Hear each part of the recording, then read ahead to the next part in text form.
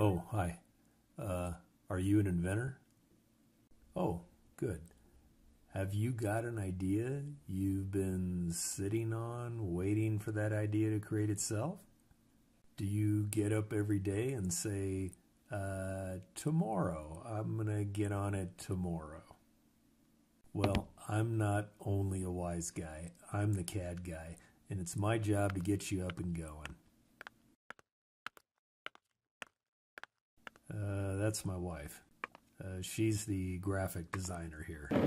She helps me with the marketing media, you know, website stuff, logos, stuff like that. Now, I put together a website with a load of information.